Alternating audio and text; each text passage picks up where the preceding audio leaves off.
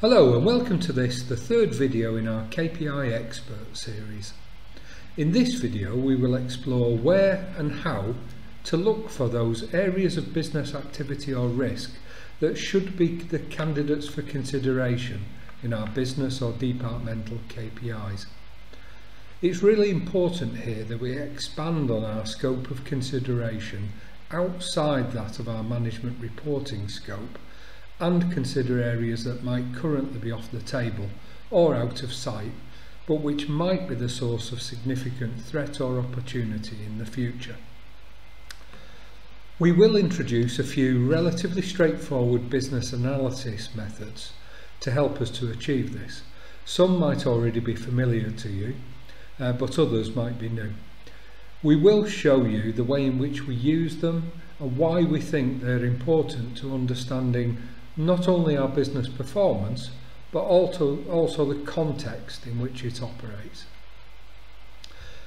If KPIs are the critical few performance areas that merit special management attention, it may seem a little counterintuitive to start off by expanding the areas of performance we are considering. However, it's only by doing this that we can ensure that we are making our choices based on the full picture and that we don't miss anything important that has the potential to undermine our business or our future, future performance. My name is Carl and I'm a business improvement greybeard. The first step to defining our business, department or area of activity is to embrace the concept of the process. This is a very simple but very useful way of compartmentalising our business world and capturing a clean boundary around our areas of responsibility. We can apply this simplification of our business at pretty much any level from the company as a whole right the way down to our own personal job scope and responsibilities.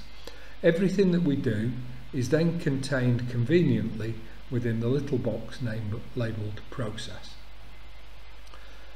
It's a natural next step from the process box to then consider the things that we need to receive into the box in order to do the things that we do. These being our inputs.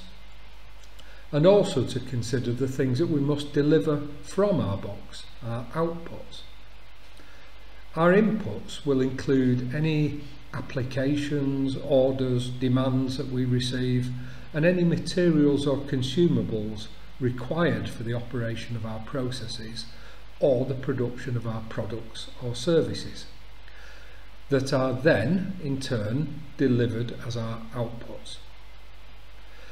This concept forms the initial building block for the majority of business management philosophies and performance improvement systems with the more complex analytical tools and techniques simply expanding out the detail behind the boxes shown or adding further areas representing the environment and context in which our process activities are operating.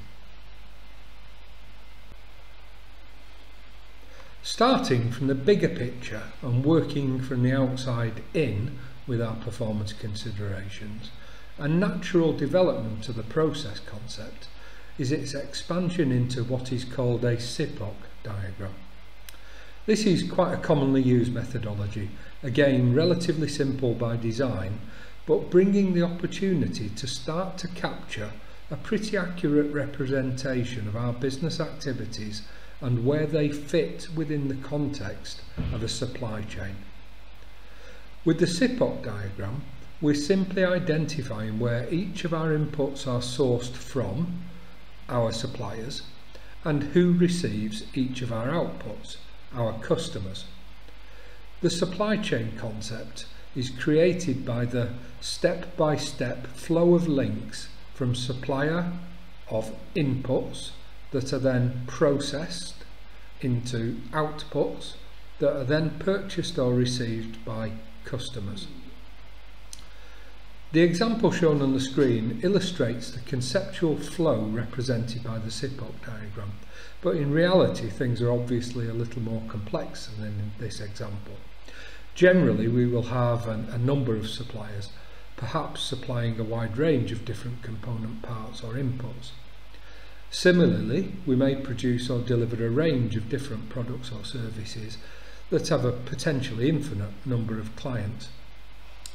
Where this is the case, we can of course just expand out the number of boxes at each step, maybe having two or three output boxes and a number of customers for each of these. The logic however remains the same. This methodology can be really useful in capturing that overview of our business activity and maybe start our thinking on where within that diagram we have issues or performance concerns. The Greybeard Academy is planning another video specifically on the topic of SIPOC diagrams. This will be considering how to construct them, the variations possible, how to get the most out of them, along with various different use cases. Do keep a lookout on, on our YouTube channel if this one sounds interesting. In a similar vein to the SIPOC is the ICOR diagram. With this methodology, rather than expanding out up and down the supply chain, we're doing the same thing but out sideways to explore more of the context in which the process itself is having to operate. The ICOR diagram achieves this through exploring the potential controls, applying constraints or demands upon the process, and the resources that we will need to provide and manage in order for the process to operate correctly. Controls can often manifest in the form of specifications and standards or legislative requirements such as environmental compliance needs or the restrictions on the storage and use of personal data. But these can also be expanded to reflect the influence on our business activities from competitors or from the development and introduction of new and potentially game-changing technologies. Inadequate planning and deployment of resources is a common source of business performance issues. Generally, we can categorise our resources into those of people, materials, equipment and, and the working area. Where issues can often lurk is in the inappropriate application of these resources to the delivery of the process activities. One useful tip when considering the readiness of our resources is to split their planning and application into two areas of consideration. Their capacity, so do we have enough of them to deliver the work demands, and their capability, so are they competent or technically capable enough to achieve the required, required standards or tolerances of the work tasks or of the delivered products or services. Like with the SIPOC, the development of an ICOR diagram can be extremely useful in capturing and understanding the context in which we are trying to operate our process. Again, the challenge is to think through the completed diagram and where we are likely to, or already do, suffer issues, disruptions or performance challenges, or on a positive note, where there are the greatest opportunities. The next methodology I would recommend in order to understand the range of performance considerations around our business activity is the QCD system. We actually have a couple of videos on our channel dedicated to this method already, so do check these out if you want to know more. The QCD, or Quality Cost Delivery System, is an operational performance management philosophy that provides a simple but comprehensive suite of performance measures designed to give an holistic oversight of process performance. Operational in this context doesn't mean it's only applicable for manufacturing businesses. It refers to the operation of the business process, whether that's service or production activities. The QCD system is particularly strong in the way it covers all of the bases of operational performance. It starts with the primary effectiveness pro, uh, performance of the process in terms of its achieved quality and delivery performance. It then considers the efficiency of the process by looking at the performance levels achieved in the use of the resources applied in the process. The logic behind this is focused on cost efficiency. So it's looking at how much of a particular resource we need, at what cost rate, and over what period of time. The consistent presence of time as an element of each of, each of these resource efficiency measures leads to the natural addition of lead time as a final component in, in the operational performance uh, considerations. The final methodology I wanted to introduce today, and again an extremely commonly applied one, is the use of process flowcharts. This methodology is concerned with what is actually happening within the process box. Many organisations will already have documented procedures and work instructions and, and these will often already include process flowcharts and these will generally be describing the sequence of events applied in order to transform our process inputs into delivered outputs that meet our customers' requirements.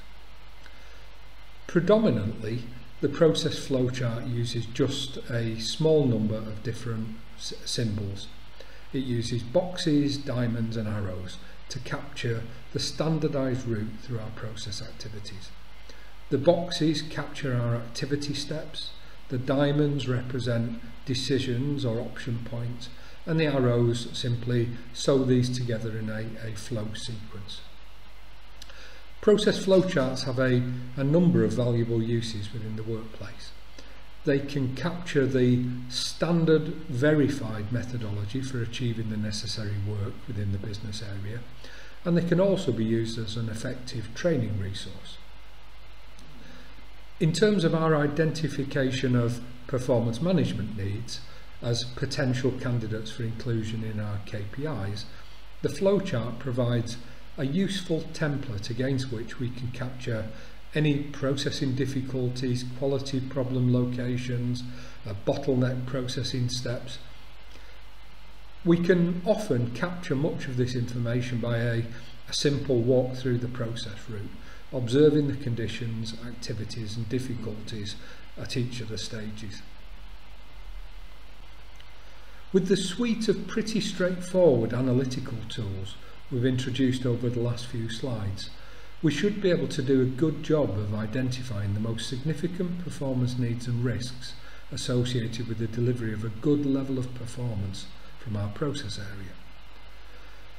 The items that most capture our attention are going to be unique to our own business activities and circumstances, but they are going to be from a pretty generic list of performance categories.